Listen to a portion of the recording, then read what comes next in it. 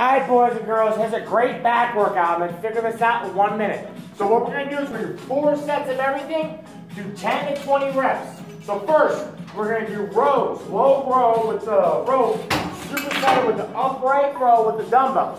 10 to 20 reps, upright row. You're gonna go back and forth, back and forth, four sets.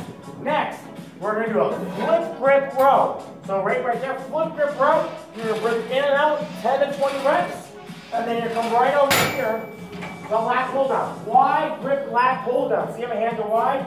10 to 20 reps, four sets. And then it goes up and then down right there. And then you go right back over to the cables, right over here. We're gonna do a straight arm lat pull down.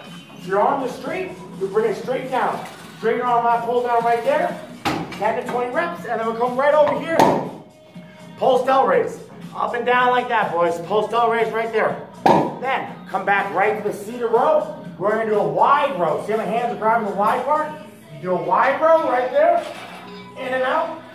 And then we're gonna come right over to the flip grip lat pull down. See how my hands are facing the opposite direction of my body? And then we do a lat pull down right there. Bring it in and out. There you go, boys. Four sets of everything, 10 to 20 reps. Circuit all those exercises. I'll text it as well. Have a good one.